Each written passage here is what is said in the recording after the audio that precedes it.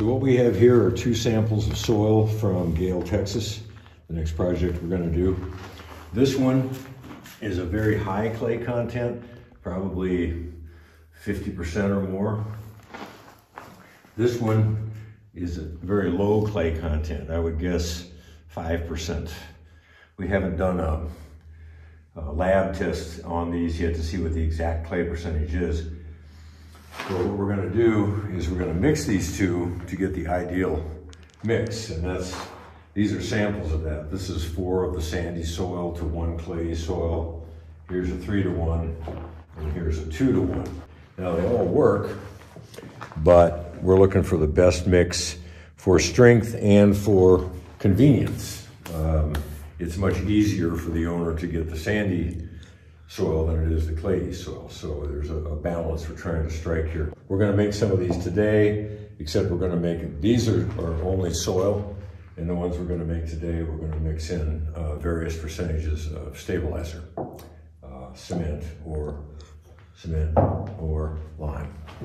The first test that we're gonna do is called the jar test, and you fill a jar, you know, to not an exact percentage, this is about a third, full of soil. And this is the clay soil. We'll fill another one with the sandy soil. About the same.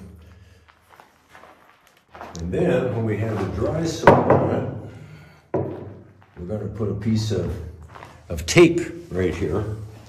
It will demonstrate that if either of these soils are highly expansive, the finished product will have raised pretty far above the tape, then we know it's highly expansive soil. Also, because of this piece of tape, will also demonstrate to you whether your, your clay is highly expansive or non-expansive. Uh, you'll see when this is done, you'll see a line along the bottom because the heavier granules sink first. So you'll see, you know, the sand at the bottom and the clay and silt above it.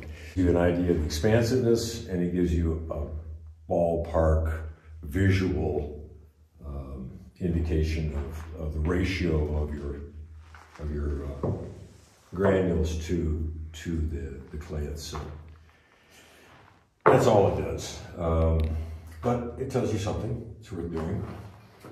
We're going to fill this with water. And then we shake it. Shake, shake, shake, shake, shake. Until all the particles are suspended in the water.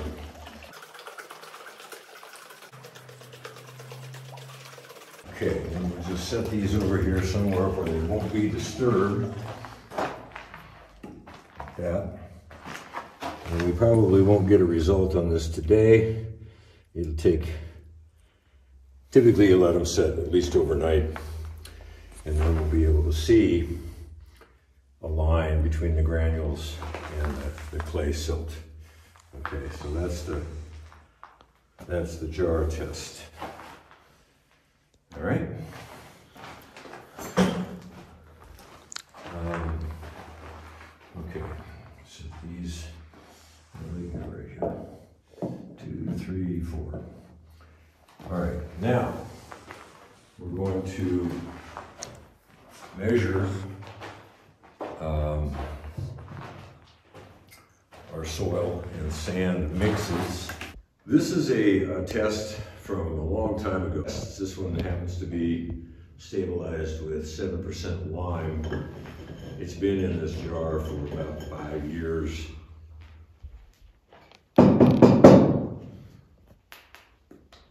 Very firm. Lime stabilization does work uh, if you have the patience to do it and if you have the right clay. So that's uh, an example of a 7% lime stabilized New Mexican block. We're going to put the soil in this uh, wok uh, by volume. So we're going to do a three to one on this particular particular mix. Three of the sandy soil. Three cups. And one cup of the high clay soil. So we have three to one this by volume. Now we're gonna mix it up. Okay. Now we're gonna do weight. because we're gonna weigh in various percentages of stabilizer in this mix. To weigh it, we have a gram scale right here. We wanna get real accurate. The way the gram scale works is you turn it on, it'll light up and end up at zero. And because we don't wanna weigh this, we just wanna weigh the ingredients, we now put this measuring device on here. It weighs 7.82 grams, and then we hit tare, which zeroes this out, meaning that when we put this on here again, it's only gonna weigh the amount of stuff in the cup. So we'll just weigh these cups. This one's 31.13 grams.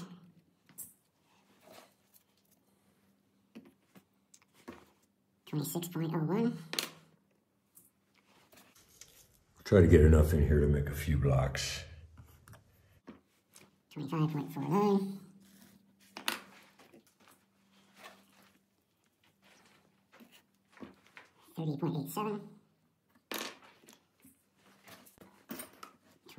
We have 295.77 grams of soil in our wok.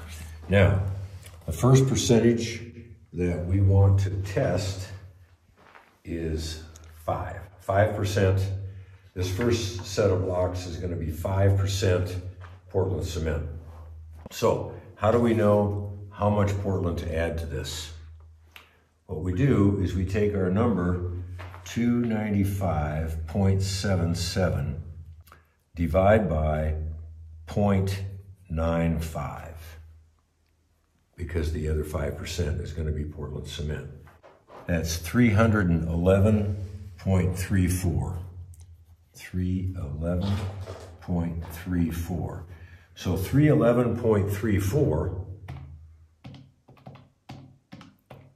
minus the weight of the soil, 295.77 equals 15.57.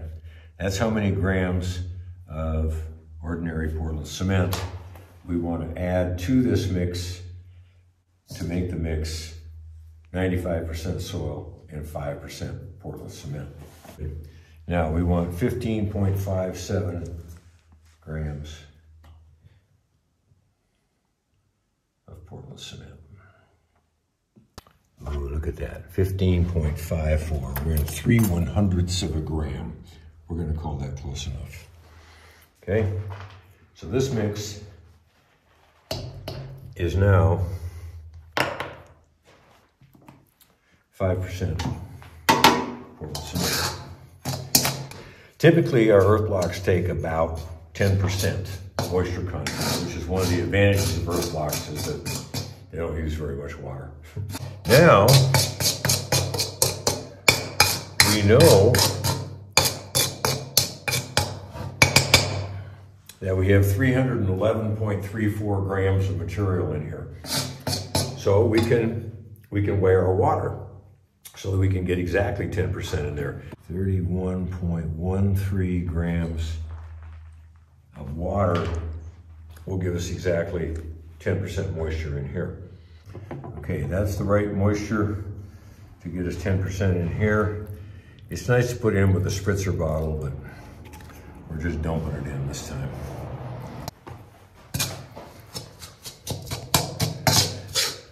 This is one of those things that'll fool you. It looks like you start mixing it and it looks kind of lumpy. Ah, too much water, but it's not. It's just right.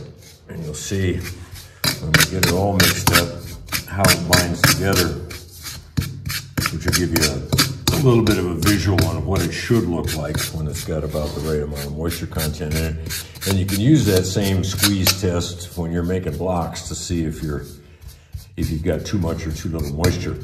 The block machines will also tell you when they make a block, if there's way too much water, uh, the machine will actually extrude the block. or if it's not that much, it'll make a block that it instantly starts to get some little spider web cracks on the top of it. And that's because it's got too much water. It's drying too fast and it'll crack.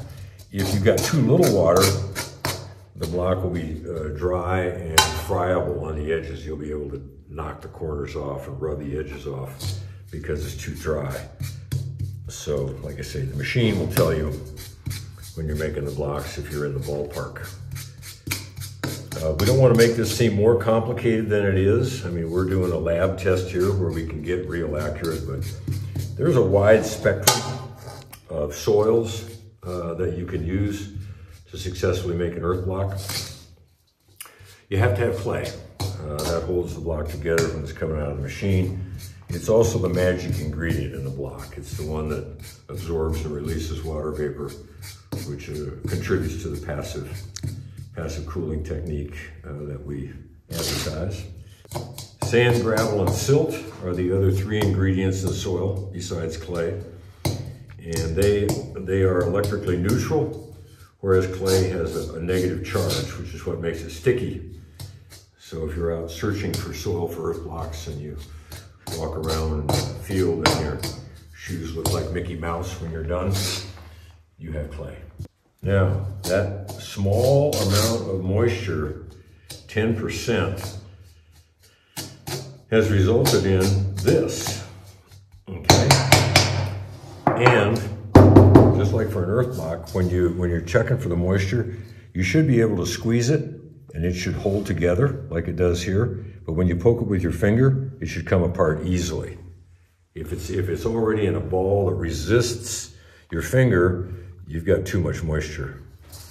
So there's a, there's a simple little test there. Now, we're going to make some little 5% Portland stabilized earth blocks with that mix. This is a mini block maker. This particular machine is manufactured by AECT in San Antonio, Texas. They're kind of expensive, but they're, they're real handy. And we're just gonna fill this with our sample. When you're trying to make, uh, you know, consistent mini blocks, you know, again, like for like, you want to do the same thing to this fill technique every time. You want to just dump it in there. You don't want to pack it.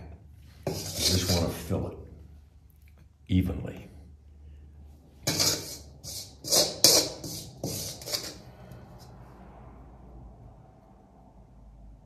Okay. And evenly can be determined by scraping it off. we'll use one of these. You want to make sure the corners get filled.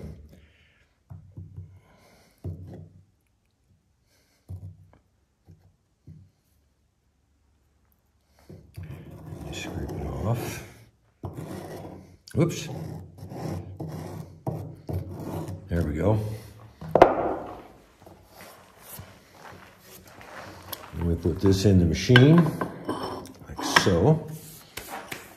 And then we're going to pump it up with this hydraulic pump over here. You might want to get over here, Dylan, where you can see the gauge right here. We're closing the, uh, the valve here, and then we're going to pump it up. And again, for consistency, when we're making these blocks, we want to pump them all to the same, same pressure. We're going to use 2,000, like that. This takes a lot of pump.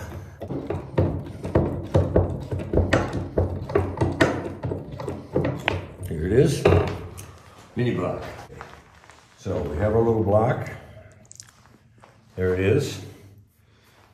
This is three to one sandy soil to clayey soil and 5% Portland cement.